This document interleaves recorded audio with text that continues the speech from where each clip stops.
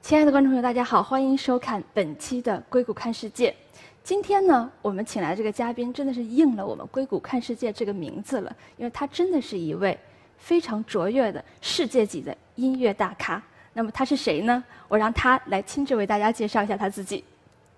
呃，你好，我是蔡劲东，呃，我是一个指挥，交响乐团的指挥。然后我到美国呢，已经是三十多年了，也可以说是一个老美国了。当然，这个呃，我是经常跟中国呃大陆啊，这个所有的这些主要的交响乐团一起合作，然后呢，搞一些这个文化交流的项目。所以说是嗯，非常高兴今天能够在这里来。呃，我们在这欢迎哈蔡教授到到我们中间来。然后今天呢，我要特别的介绍一下蔡教授哈。蔡京东教授是巴德美中音乐研习院院长，巴德学院音乐与艺术教授，此前曾多年任职斯坦福大学音乐表演教授。三十多年的美国职业生涯，他已成为西方古典音乐领域最活跃的中国音乐家。作为一位卓越的指挥家、作家和教育家，蔡京东曾。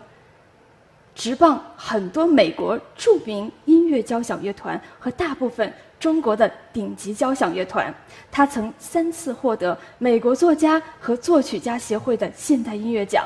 他多年来始终极力推动中国音乐及作品在美国的传播，是中国音乐在西方和世界范围内传播的先驱和开拓者。所以呢，我们今天非常荣幸。邀请到了蔡教授，而且今天呢，蔡教授为我们带来了一份大礼，很神秘的大礼。我们让他来介绍一下这份大礼是什么。Yeah，非常这个谢谢你的介绍。嗯，我是目前我们在工作的一个项目呢，就是一个为了庆祝今年美中建交四十周年和这个呃美国太平洋铁路从东到西的铁路这个修建成功一百五十周年。我们呢就是组织了一场音乐会，这场音乐会呢，其中一个最重要的作品呢，是一个交响清唱剧，呃，就是叫做《铁汉金钉》。呀，铁汉金钉，就是呃，用英文说呢，就是 Man of Iron and Golden Spike。呃，Golden Spike 呢，实际上金钉呢是讲讲的一种特殊的意义的金钉。这个 Golden Spike 在英文里，在美国的这个历史上，就是就说的是这种，就是在铁轨上的一个铆钉，呀，呃，那么呢，这个 Golden Spike 呢，又是完全是非常的呃形象的去说明了美国这个铁路的这种建设的历史。OK。呃，所以说呢，我们这个作品呢是呃有八十人的交响乐团，有将近一百二十人的合唱团，还有呢就是五个。独唱演员，还有中国乐器的独奏，比如说二胡、古筝，还有西洋的大提琴。所以说，这是一个非常的呃大的一个一个一个作品一个项目。啊，这个项目呢，我是觉得我们是准备是在十月一号，十月一号在纽约的卡内基音乐厅首演，然后呢，穿越美国的这个中西部，呃，从这个东部一直到西部，十月六号。在斯坦福大学的这个冰音乐厅里边，OK，所以说，对这部是呃，因为它的呃起源是第二届纽约中国当代音乐节，呃的一个系列音乐会的这样的一个活动，然后它的题目是叫从东方奇幻到西部壮举，嗯嗯，对，所以这是刚才为什么蔡教授 为我们讲解了一下，为什么是从纽约开始，然后再到西部，对吗？对对，就是，嗯呀，因为这个。呃，其中 这个音乐节呢，我是希望能够在美国建立一个平台，特别是在纽约建立一个传播中国音乐的平台。那么呢，每一年呢，我们都有不同的这种侧重点。呃，今年的侧重点呢，就是美中的这个音乐之间的这个联系，中间的关系。特别，我觉得就是特别是在今天，就是我们当人们就是太多的呃来。注重在政治上的时候，往往你会觉得这个两个国家的这个这种矛盾，是吧？呃，两个国家这种不同这种这种 conflict。但是如果你呃把两个国家的这个文化看在一起、连在一起，你会觉得这个文化之间呢，就是中国和美国有了很悠远的、悠长的，或者是很紧密的一种联系。对，这是为什么我们叫月融中美，是吗？对的，对的。这就是为什么我们今年的这个这个音乐节的主要侧重目的，就是叫做月融中美，就是把中国和美国是怎么样用音乐把它们联系起来。那么其中最重要的一个作品呢，就是这个呃，就叫交响清唱剧，呃，《铁汉金钉》。嗯这个《铁汉金钉》呢，是呃描写一百五十年以前，就是中国的劳工到美国来帮助美国建立太平洋铁路这样一段历史。这个历史呢，呃，在美国可以说是呃大家都知道。呀，都知道中国人帮助美国建立了这个太平洋铁路，但是呢，基本上就知道这么多。对。呀，所以在这个在美国的整个这种更广泛的这种传播中，大家并不知道是多少人来修建铁路了，经过多少的艰辛，这个结果又是怎么样，是吧？所以说这个嗯，斯我在斯坦福大斯坦福大学工作的这段时间呢，就是和我的一个很好的朋友叫 Gordon Chang，他是一个。呃，美国的历史教授，他是专门研究这一段历史的。那么呢，呃，我们是好朋友了，我们经常就谈这段历史。然后呢，就就萌生了这样一个概念，就是说，我们如果只停留在这个学术研究方面，那这个只能限局限于很少的一个圈子里边。所以我们就想，怎么样能够把这个历史事实呢，把它搬上一个艺术的舞台？艺术的舞台。对，这样的话呢，通过表演。来使更多的人去了解这一段历史，那么就会更加的这种嗯有有情有情感，对吧？更加 inspirational。所以说这个呢，我们就我们两个就说我们要搞这个这个作品，然后这个作品呃。然后呢，我们就开始决定什么样的形式，是吧？也许是歌剧，也许交响乐，但是最后我们选定的呢，实际上就是这种叫交响清唱剧。清唱剧，对，那就是说交响清唱剧呢，呃，就是有交响乐团、有合唱团、呃，有独唱，都在舞台上，这个比较容易能够得到演出的机会。嗯，同时呢，又有一定的戏剧性。所以说，最后我们就选择了这样一个呃形式，就像呃可以说比喻中国的作品最有名的作品就是《黄河大合唱》，对吧？那么这个《黄河大合唱》它是一个一组不同的这个乐章、不同的呃这个歌然后合在一起呢，又表现了一个主题。还有比如说西方的，大家知道呃汉德尔的这个《弥撒亚》，对吧？还有很多这种清唱剧，所以都是这种形式，他把一个。主题用不同的这种形式的歌歌曲，然后合唱、独唱、乐队合在一起是非常有效果的，而且呢是很容易演出的。所以我们就决定这样去做了。对，呃，这部从这个 ID 的起源一直到到最后，我们即将把它搬上这个舞台，一共用时多久？呀，我们。讲这个事情已经讲了四五年了，四五年。呀，但是最最终在工作就比较接近工作，实际上这两年的事情，嗯，而且你想这个历史啊就是这样，就是一百五十年或者一百将近一百六十年以前是吧？呃，当时美国的西部和东部是非常的隔绝的，隔绝的，对，从东部到西部要经过半年时间，半年要坐毛驴啊，就上山呐，这样这样才能过来。那么林肯当时就签署了一个要建立。这个这个东西，铁路把铁路呃用铁路把东美国的东西来贯通。嗯。他签署以后呢，就把这个这个项目呢就就就去招标给各个地区的这种大亨是吧？这种有钱人去去去做。嗯。那么在西部呢，呃，斯坦福这个人是其中的一个人接受这个项目了。那他呢本来是准备是雇佣几千个爱尔兰人。嗯，然后雇了雇佣了一些爱尔兰以后呢，就发现爱尔兰人的这个效率很不高，很不高呀，很不高。也有几个原因，一个就是他们好像是呃工作不是特别努力，是吧？嗯，呃，然后还有一个呢，就是说，因为他爱尔兰人呢是讲英文，那么呢，如果美国他们来到美国以后，美国其他地方给他们更多的薪金，他们就跑了。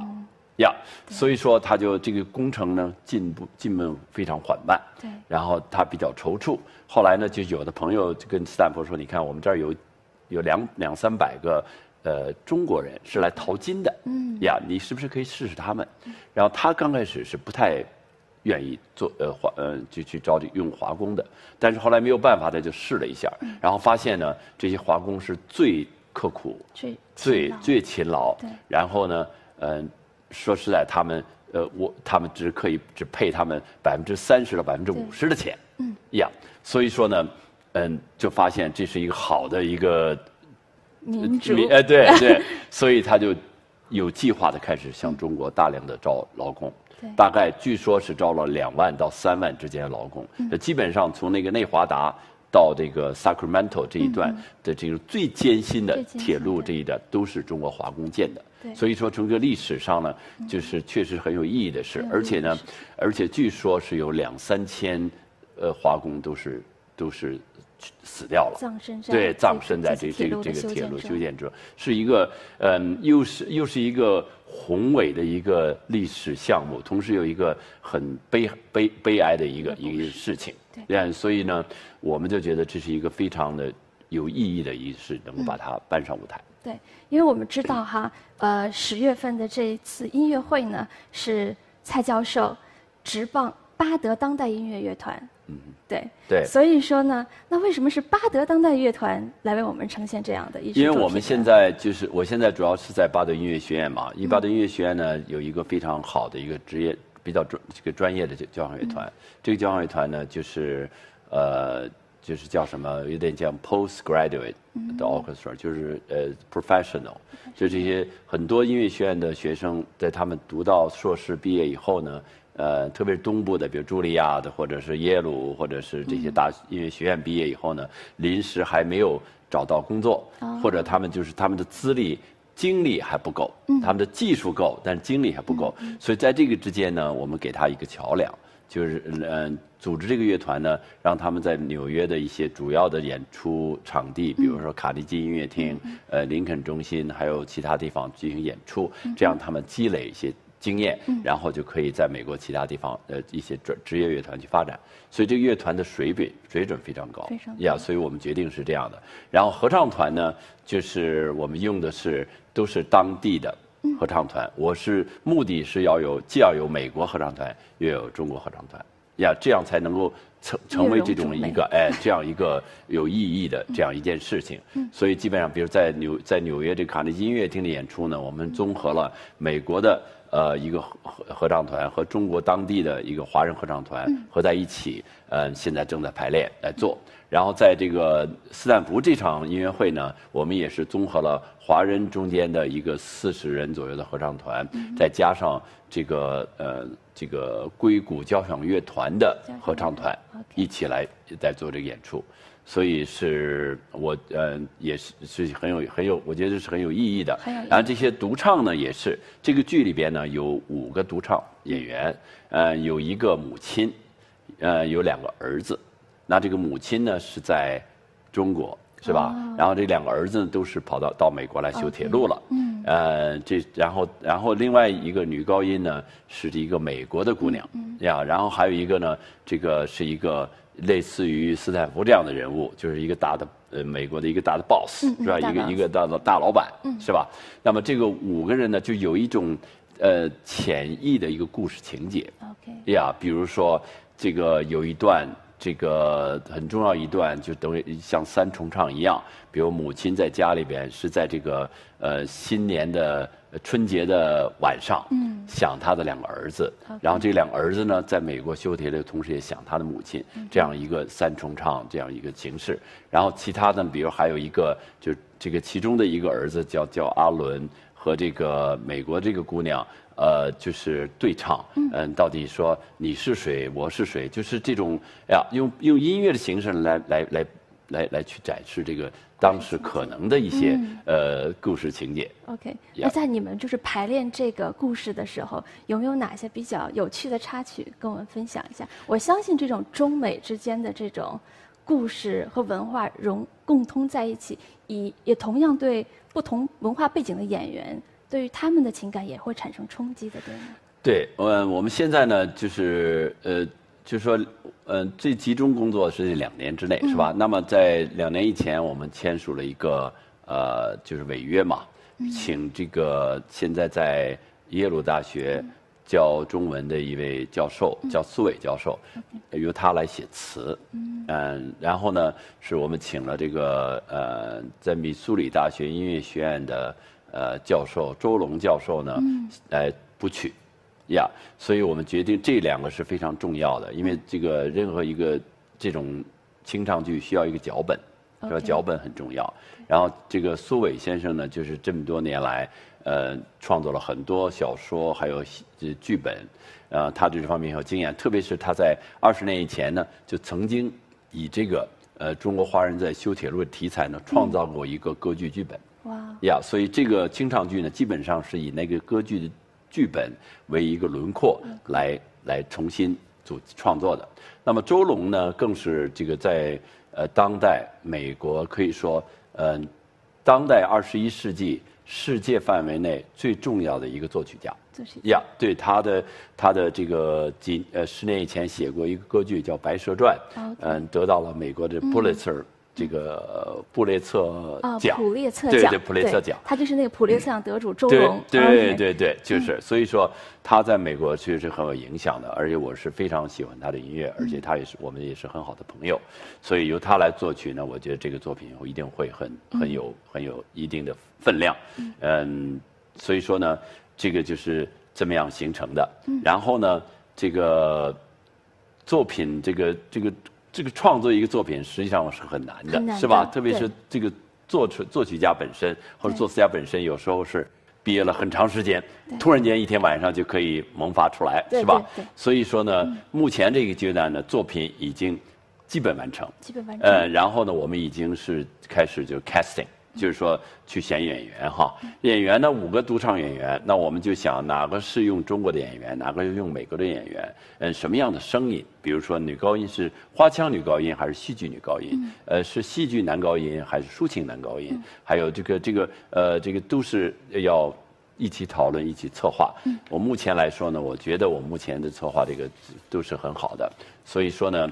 呃，下一阶段就是从现在开始，实际上合唱团已经开始排练了。已经开始排练。呀，美国的合唱团和中国的合唱团现在是分别排练，然后从这个九月份以后呢，就开始合着一起排练。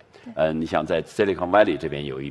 有一批在纽约里面有一批，是一个很大的一个工程，实际上，对，可想而知，对，就是。我们除了在这次呃音乐会上，除了呃《铁汉金钉》这个作品之外啊，好像还有一部是周龙先生的《山海经》，是吗？对对对，可以跟我们对我们这场音乐会呢，主要的是我是展示周龙先生这些作品，是吧？那么呢，两部作品，嗯，这个这个《铁汉金钉》呢，大概要将近五十分钟，嗯，这样一个作品。然后上半场呢，我们是用的周龙先生的另外一部新作，也是美国首演。这个新作呢，实际上就叫做这个《山海经》，对，对吧？《山海经》大家都知道，是中国古代呃上千年以前的一个一个一个历史的一个一个一个作品，一个一个呃叫什么呀？嗯，这个这个这个《山海经》呢，讲的是一种。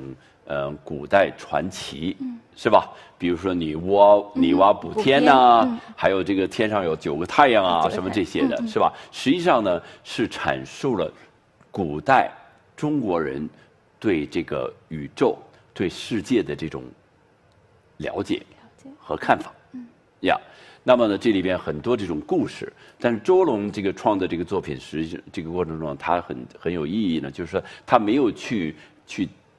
去拿这些具体的故事去做，而是呢用这种中国人对世界、对地球、对宇宙的观念来创造这个这个作品。所以这个作品就叫什么？就就叫交响协奏曲。这里边呢有五个乐章，这五个乐章呢它是按照地理这个位置来决定的。OK，东西南北中。OK。呀，所以就是说，他用不同的这种呃这种方位来描述中国人对东方的感觉，呃，中国人对南部的感觉，呃，中国人对中间的这种这种感觉。所以说的，确实是一个非常既有历史感，又有这个诗情画意，是吧？哎，同时呢，又是非常有交响性的这样一个一个作品。嗯，所以他这个作品呢是在上海。交响乐团今年的六月份首演的，呀，我们呢在斯呃纽约和斯坦福呢是做这个美国的首演。首演。对，在上海首演呢，确实反应非常非常好的。对我们非常期待哈，因为两部作品，一个是非常有意义的，跟我们呃华人铁铁路劳工这样的一百五十周年的这样的意义；还有一个呢，是我们中国中华民族中国呃人怎么看待这个世界的，对，都是越承就承接着我们的主题越融中美。对，就是啊，嗯，而且英文我们叫我把它起的叫做呃 from。The Middle Kingdom，呀那就是中国。是的。To the Wild West，Yes，那到这个美国的西部。对。哎，就是这个，实际上你看，这上半场是虽然是中中国就是签，就是 focus on 中国，但实际上是中国人对整个世界的概念。世界的了解，对整个世界的渴望。然后下半场呢，就完全是中国人到了美国。到了美国来。去怎么样去开拓？对。去怎么样为这个世界做贡献？对的，我觉得这个主题非常非常的好，非常非常的有意义和价值。我们很期待啊，就是蔡教授为我们带来的这个。携着他的巴德音乐团以及钟龙先生的这些作品来到我们中间，把这样的一个完美、有意义、具有，尤其是在中美建交四十周年这个阶段的这样的一部艺术作品呈现到呈现给我们硅谷的观众朋友们。然后我们会在节目的呃下方，节目结尾的时候把所有的购票的方式呃给广大的观众朋友们看。所以今天呢，我们这个节目就。呃，到这里了，非常再次感谢我们蔡教授来到我们中间来为我们讲解这样一段对于我们中美关系、对于我们中华民族都有着巨大意义的艺术作品。我们期待下一期的《硅谷看世界》再与你相见，再见。